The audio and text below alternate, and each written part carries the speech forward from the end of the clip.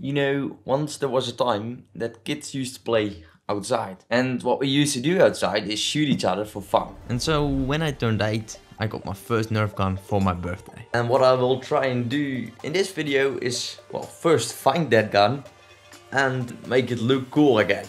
So I can go shoot my friends once more. I think I've already found it. So there are a lot of guns. Let's open a window real quick. But the gun there in the back, that is my old gun, which is now over 10 years old.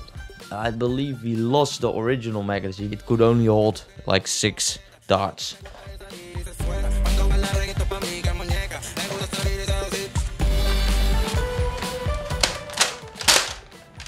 I'm not a very tall guy, I never have been. Uh, and this, well, this weapon is quite big. And so you can imagine that when I first got this 10 years ago, I could barely hold it. It was way too big for me. So I hope that at the end of this video, this gun is gonna look as real as it possibly can. But now first, I wanna try if I can find some of the pictures of me with this gun when I was about 8. These crocs, army colors. This back, army colors. I told you I was a soldier. Ooh, this is starting to look like it. You see that? And my brother as well. He was always a better soldier than I was. That's me. I look like a fucking plant. I just found a photo from me and a Nerf gun. But it is not my first Nerf gun. It's my second Nerf gun. this is amazing. What the hell?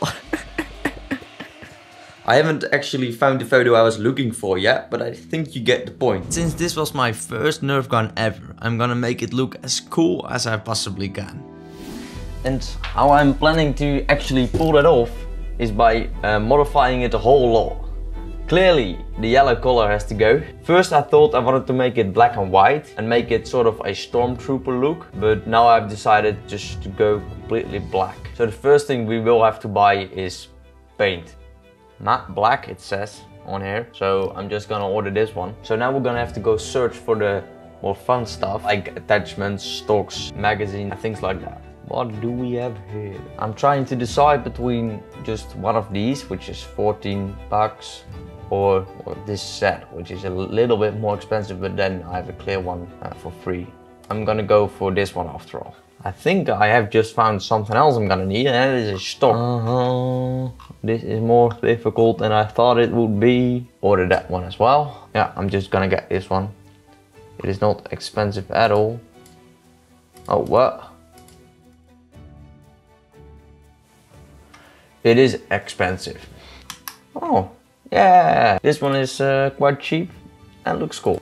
Oh, and I like this stock way better. But how much more expensive is it? you know, all of this stuff adds up. One of these parts alone, not that expensive, but all of them together. Ooh. So the whole cost of this project with shipping included was 71 euros and 3 cents. One part of the puzzle has actually already arrived, so I'll just quickly go get it. Two of these matte black spray paint. And now it's time to put these two to the test.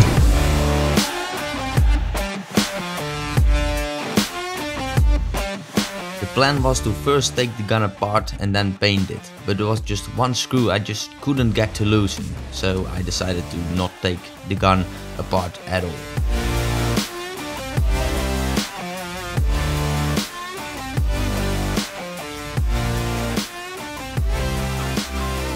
Three weeks after I ordered my magazine, they thought it would be time to tell me that they didn't actually have it in stock. So, well, that kind of sucked. I went out and bought another one and here we are another two weeks later. So let's finally unbox all of these parts and put the whole gun together.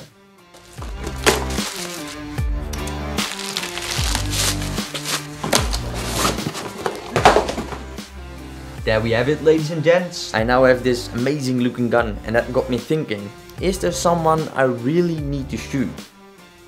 Yes there is. I'm coming for you, little brother.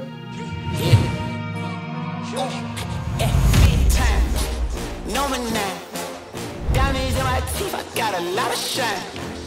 Running up the numbers, that's a lot of crime. Try to me. Are you looking for me? How do you know that? Eh,